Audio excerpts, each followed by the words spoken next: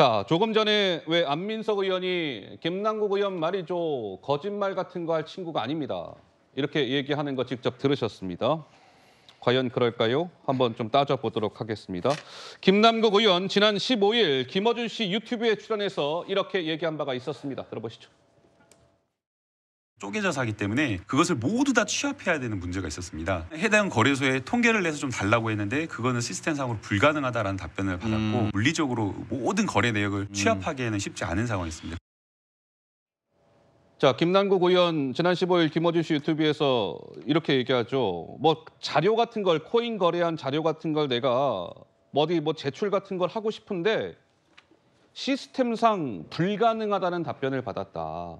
나는 내고 싶은데 그쪽 빗썸이나 뭐 이런 데서 자료를 못 준다고 해서 내고 싶어도 못 냅니다라는 취지로 얘기를 해요. 그런데 코인게이트 진상조사단 국민의힘 여기서 김남국 의원이 구체적으로 언제 거래 내역을 받아갔냐라고 빗썸 관계자한테 물었더니 지난 26일 날 빗썸 관계자 말하길 지난 19일에 받아갔는데요. 아니 시스템상 불가능해서 제출을 못하겠다면서 지난 19일에 빗썸 측에 요구해서 김남국 의원실에서 빗썸의 거래 자료를 받아간 건 무엇일까? 이거 왜 거짓말하고 있는 걸까? 이런 논란인데요. 장채관 말씀하시죠. 그러니까 안민석 의원이 생각하는 거짓말의 기준은 우리 국민들이랑은 좀 다른 것 같아요. 본인도 뭐 최성원 씨 재산 300조 운운하는 거짓말을 밥 먹듯 하는 분이기 때문에 그런지 모르겠습니다만 제가 볼 때 김남국 의원은 거짓말 안 할 친구가 아니라 거짓말의 달인, 거짓말의 도사입니다. 이번에 보신 것처럼 이 거래소에서 거래 내역 주는 게 불가능하다는 것도 거짓말이었죠.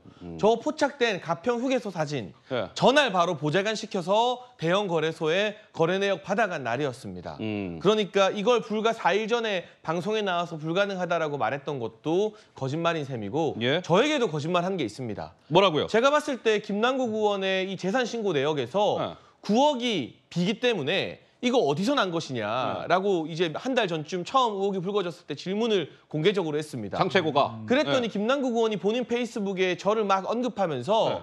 뭐 계산도 못한다, 산수도 못한다 음. 이런 식으로 막 이 흥분해서 이 막 화를 내셨거든요. 어, 기억이 나네요. 근데 알고 보니까 하루 지나서 네. 제가 지적한 지적이 맞으니까 네. 본인의 그 9억 예금으로 받은 것은 이 가상화폐 투자 수익에서 어느 정도 현실화 시킨 것이다라고 말을 또 바꿔요. 음. 처음에는 그렇지 않았거든요. 예. 그러니까 이 9억이라는 핵심적인 용처 초기 투자금에 대한 부분 왜 이게 가상화폐에 투자를 했는데 재산 신고 예금에는 그대로 남아 있는지 여기에 대해서도 거짓말을 하신 셈이고 음. 거짓말이 또 있죠. ATM으로 인출한 거 현금화한 거 440만 원밖에 없다고 했는데 예. 업비트와 연동된 계좌에 2억 5천만 원이 대선 전후 한 달 사이에 음. 현금화되지 않았습니까? 예. 그것부터가 일단 또 하나의 거대한 거짓말인 셈입니다. 근데 더 큰 문제는 이런 거짓 해명들이 계속해서 밝혀지고 있는데 네. 본인이 나와서 또는 뭐 기자분들이 활동하는 단체 대화방 등에 음. 어떤 해명도 하지 않는다는 거죠. 이건 그냥 시간 끌고 버티겠다라는 음. 정치인들이 보여주는 최악의 태도 같습니다. 최악의 태도다. 그 장채고의 이제 개인적 평가, 개인적 의견을 주셨고 김남국 의원이 왜 빗썸에서 그 관련 자료를 가져갔다 이 날짜는 5월 18일이 아니라 5월 19일로 파악이 되고 있습니다. 어찌 됐건 중요한 것은 김남국 의원실에서 자료를 받아갔다는 것이죠. 자, 더불어민주당 이소영 대변인 지난 14일 날요. 그러니까 지난 14일이면 기억을 상기해 보시면 아마 김남국 의원이 더불어민주당을 탈당한 날입니다. 그러니까 탈당했다는 사실이 막 알려지자 더불어민주당의 이소영 대변인이 한 말이라는 거 감안해서 들어봐 주시면 좋을 것 같습니다. 확인해 보시죠. 이용 거래소 그리고 전자지갑, 거래 코인 종목, 수익 등 이런 거래 현황과 관련해서는 조사단이 관련된 요청 자료를 제출받지 못한 상황이었다라고 하는 점을 말씀을 드리겠습니다. 진상조사단에서 혹시 뭐 김남국 의원이 코인 매각했다고 하거나 그런 보고가 있었나요? 코인 매각과 관련해서 보고는 없었습니다. 당에서 뭐 이제 이런저런 자료를 김남국 의원에게 요청을 했지만 탈당하기 전에 뭐 어떤 자료도 제대로 받지 못했다라는 취지로 이소영 대변인이 얘기하는 거 들으셨고요. 또 하나 이 김남국 의원이 또 거짓 해명을 하고 있는 것일까요? 또 한 포인트 짚어보겠습니다. 지난해 12월에 김남국 의원이 조선일보와의 인터뷰에서 좌측을 한번 봐주세요. 이렇게 얘기합니다. 2017년 한창 이 코인 거래를 할 때 내가 최대 한 40억 정도까지 보유를 했었습니다. 그러나 지금은 하나도 없다. 하나도 없어요. 지난해 12월에 이렇게 얘기했어요. 근데 이번에 지난 5월 5일 날 코인 논란이 처음 불거진 이후에 사흘 후인 지난 8일에 김남국 의원 본인의 소셜 미디어에 이렇게 올렸습니다. 어떻게요? 이렇게. 현재 기준 보유하고 있는 가상화폐는 9억 1천만 원입니다. 아니 하나도 없다면서요. 이건 또 무엇입니까? 이런 것인데 배 소장님 한 말씀 네. 들을까요? 제가 우리 뉴스 라이브를 통해서 말씀을 드린 적이 있어요. 저는 이제 데이터를 분석하는 사람이니까 왜 사람들이 이렇게 분노를 할까? 예. 특히 MZ 세대 더불어민주당 지지율이 왜 요동을 칠까? 투자가 문제 아니에요. 가상화폐 지금도 우리 투자하는 사람들 많습니다. 예. 특히 20대, 30대 이게 금융위원회의 실태 조사 보고서를 보면 30대가 가장 많아요. 투자하는 사람 중에서 40대도 꽤 되고 예. 20대도 있습니다. 투자는 돼요. 투자해요. 그리고 재산 등록은 여기 조정원 의원도 계시지만 가상자산, 가상화폐, 코인은 의무 아닙니다. 그런데 그런데 그 다음이 문제예요. 이 태도. 첫 번째 뭐냐? 지금 왜 MZ 세대나 40대나 어, 화이트 칼라가 덜썩덜썩하냐? 해명이에요. 왜 해명이 안 되냐? 허허. 두 번째는 뭐냐면은 왜 잠적하냐? 음. 더불어민주당의 진상조사 다 받겠다. 그리고 전 재산과 정치 생명을 걸고 예. 왜 내가 하면 코스프레냐? 해명하겠다. 음. 근데 잠적을 해버렸어요. 세 번째는 뭐냐면 책임입니다. 책임. 책임. 왜 그런데 그러면은 잠적도 하고 지금 의정 활동은 안 하는데 세비는 어떻게 한다는 이야기도 없고 음. 뭐 사퇴 여부에 대한 말도 없고 근데 여기서 핵심 뭐냐? 이 모든 김남국 의원과 관련된 부분이 더불어민주당 쪽으로 와전이 되는 거예요. 네. 그러니까 무슨 말씀이냐면은 음, 음. 그러면 더불어민주당에서는 지금 뭐 하고 있느냐? 빨리 김남국 의원에 대해서 당에 이 여론, 이 준엄한 여론에 대해서 왜 응답하지 않느냐? 음. 그리고 이재명 대표와 김남국 의원의 사를 생각하면 아니 무소속이라서 손을 못 대나요? 김 의원 아. 당이 큰일 나요. 예. 빨리 와요. 나와요. 그래야 우리가 돈 봉투도 그렇고 내 재판도 그렇고 음. 지금 당이 중도층도 안 좋고요. 지금 예? 김남국 의원의 지역구 전부 다 수도권이에요. 이재명 대표의 지역구도 인천 시 수도권이에요. 예, 예. 그 내년 총선은 수도권이 핵심입니다. 게다가 청년층까지 흔들리잖아요. 어. 이럴 때 왜 더불어민주당도 그렇고 김남국 의원도 책임 있는 태도를 안 보이냐? 알겠습니다. 이게 핵심인 거죠. 배 소장님의 말씀을 한마디로 정리해 보자면 응답하라 김남국 맞습니까? 그렇습니다. 응답하라 김남국. 예. 무엇인가 당사자인 김남국 의원이 이제 해명을 해야 되지 않겠느냐 뭐 이런 취지의 말씀이시고요. 김남국 의원이 언제입니까? 2021년 6월에 한 유튜브 방송에서 내가 돈 모은 거는요 코인 같은 거에서 돈 모은 게 아니고 아이스크림 같 아이스크림 사 먹고 싶은 거 이런 거 절약해서 돈 모은 겁니다. 이런 취지로 이야기한 거 기억들 하십니까? 직접 들어보시죠. 2017년에 아마 처음 비트코인을 접했어요. 제가 돈을 번 건 비트코인을 번게 아니고 진짜 아끼고 편의점에서 아이스크림 하나 안 사 먹고 아, 차도 지금까지 안 샀거든요. 투자는 항상 거꾸로 해야 되고요. 투자를 하려면 아껴야 돼요. 근데 막 써버리면 안 되고. 조 의원님 이 영상을 보시면서 뭔가 미소를 짓고 계신데 그 미소의 의미는 무엇일까요? 아, 진짜 비트코인을 그렇게 코인 거래를 그렇게 많이 하면서 저런 방송을 할 수 있다는 게 참 대단하시다라는 어허. 생각이 들고요. 예. 지금 현재 지금 김남국 의원 사태가 지금 김남국 의원 효과로 지금 변해가는 것 같아요. 음. 무슨 말씀이냐면 그 코인 업계 전체 전체가 예. 가상화폐 업계 전체가 마치 무슨 범죄자 집단인 양 지금 몰려가는 것 같습니다. 어 그건 아니죠. 우리 사회에서 예. 누가 코인 거래한다 그러면 왠지 좀 음, 이상하게 예, 예, 보고 예. 음. 지금 열심히 기술 개발해서 해외에서 열심히 돈 벌고 있는 코인 업계들, 게임 업체들 그리고 P2E, Play to Earn 그런 게임 업체들이 지금 어, 김남국 의원 이걸로 인해서 모두 다 지금 범죄자 취급을 받고 있습니다. 음. 현재 국회의원이 정치권에 대한 불신을 넘어서 이런 국가적 그 국익에 손해를 이렇게까지 끼친 경우가 또 있었나 할 정도로 네. 지금 김남국 의원 사태가 지금 일파만파 특히 미래 산업이라고 알고 있는 그 가상화폐 NFT 산업에 그큰 악영향을 미치고 있다. 네. 그래서 누가 지금 떳떳하게 지금 나 코인 해라고 지금 할 수 있는 사회 분위기가 있습니까? 음. 코인하면 왠지 투기꾼, 뭐 비밀 정보 얻어서 어. 그냥 돈 얻는 사람 뭐 이 정도 돼 버려 가지고 예. 앞으로 코인 산업이 다시 명예를 회복하는데 음. 상당한 시간이 걸릴 거다. 그래서 김남국 효과가 정말 이 걷잡을 수 없이 국익에 그 해악을 끼치고 있다 생각합니다. 김남국 의원이 또 해명을 해야 할 포인트가 또 있습니다. 바로 이 부분인데요. 한번 보시죠.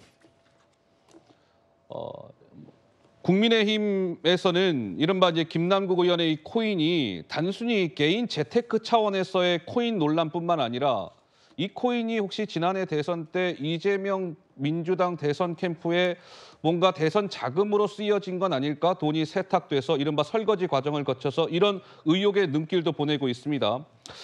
그러한 것들을 뒷받침하는 의혹 보도가 두 가지 보도가 나왔었죠. 왜 업비트에서 K뱅크라는 그 연- 계좌에 2억 5천만 원 정도가 쪼개기 인출이 되는데 저 시점이 참 공교롭다.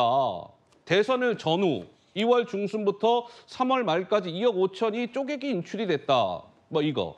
두 번째는 지난해 2월 중순에 이른바 그 위믹스 코인을 클레이페이라는 코인, 그 잡코인하고 교환을 하는데 36억 원어치의 위믹스 코인을 주고 클레이페이 쪽으로 수수료 20% 떼어주고 30억 정도를 현금화한 거 아니냐 이런 또 의혹 제기가 있지 않았습니까? 근데 또 저거는 대선 직전이었다. 근데 김남국 의원은 일전에 뭐라고 해명했었죠? 제가 대선 전으로 현금화한 것은 아이고 440만 원 뿐입니다. 이렇게 얘기한 바가 있기 때문에요. 양재열 변호사님, 저 부분은 좀 어떨까요?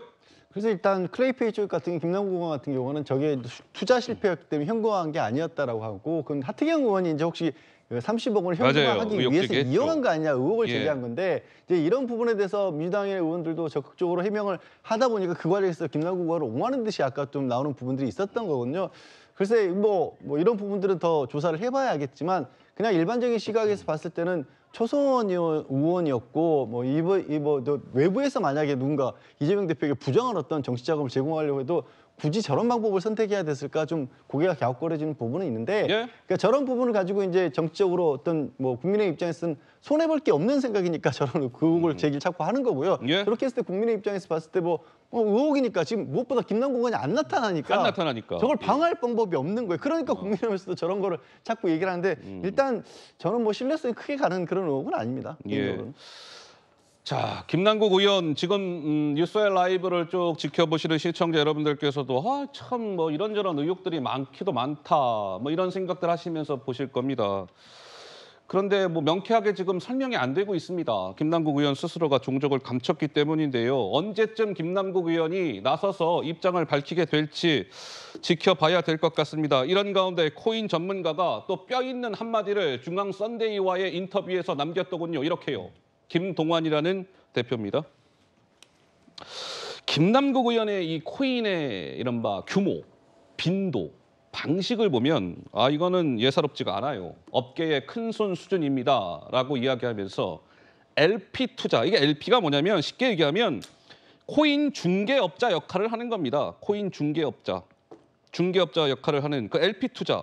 일반인은 시도할 엄두도 못 내는 어려운 분야인데 김남국 의원은 거기에 수십억 원을 운용한 마- 만큼 아 용기가 있었어요. 과감했어요. 많은 돈을 벌 수 있다는 강한 확신이 있었단 얘기 아닐까요? 우리 장채권 저 워딩 보면서 무슨 생각이 드시는지요? 그러니까 김남국 의원이 본인 스스로 했던 말을 우리가 사실이라고 인정해 주자면 네. 편의점 아이스크림도 잘 안 사. 먹고 음. 구멍난 운동화 신고 다니고 국회에서 무료로 지급하는 잠바 입고 다니는 분이 음. 수십억이라는 거액을 허투루 투자하겠습니까? 하하. 이건 정말 내가 돈을 잃지 않고 벌 수 있다는 강력한 확신이 있어야만 수십억을 소위 말하는 잡코인에도 투자하고 방금 전문가가 말한 LP라는 일반인이 엄두 내기 어려운 중개업. 예. 거치형 중개 이 사업에도 투자를 하는 것이겠죠. 음. 그러니까 김남국 의원 본인이 말했잖아요. 나는 편의점 아이스크림도 잘 안 사 먹었다고. 그리고 실제로 주변에 취재를 해보면 정말 뭐 검소하다고 해야 될까요? 돈 많이 안 쓴 건 맞는 것 같아요. 음. 그럼 그렇게 돈을 아끼는 분이 아무런 확신 없이 위험 부담이 큰 이 거래에 뛰어들었을까? 다들 납득을 못하기 때문에 이건 확신을 가질 만한 예. 내부 정보나 미공개 정보가 음. 반드시 개입했을 것이다라고 추론을 하게 되는 것이고 예. 그 부분에 대해서 김남국 의원이 명확히 소명해야 될 필요가 있는데요. 음. 지금 자금 출처부터 투자 이익 그리고 어떤 배경으로 이런 LP 투자나 잡코인에 거액을 투자하게 된 것인지 등등에 대해서 김남국 의원이 전혀 해명을 못하고 있는 상황이기 때문에 네. 김남국 의원이 나오지 않는 한 이 논란은 계속될 것이고요. 예. 나와서 해명을 하더라도 음. 앞서 김어준 씨 방송에서 했던 것처럼 허술한 해명, 음. 하루 이틀 지나면 거짓말임이 다 드러나는 그 정도 수준의 해명밖에 못한다면 네. 나오는 게 민주당에게는 더 악재가 되겠죠. 사실 민주당 입장에서는 음. 그냥 김남국 의원이 의원직 내려놓고 다음 총선 때까지 계속 국민들 눈에 안 나타나길 원할 거예요. 네, 네. 근데 그게 어디 마음대로 되겠습니까? 음. 그러니까 저는 언젠가는 김남국 의원이 나올 수밖에 없는데 음. 나름대로 만반의 준비를 하고 소위 말하는 이 디지털 알리바이를 갖추고 나오겠지만 예. 그게 이미 코인 지갑 주소가 노출된 이상 음. 수많은 전문가들에 의해서 하루 이틀이면 함락될 알리바이일 게 분명하기 때문에 본인도 나오는 것을 주저하고 있는 상태 같습니다. 알겠습니다. 자, 장현찬 최고 이야기까지 들어봤습니다.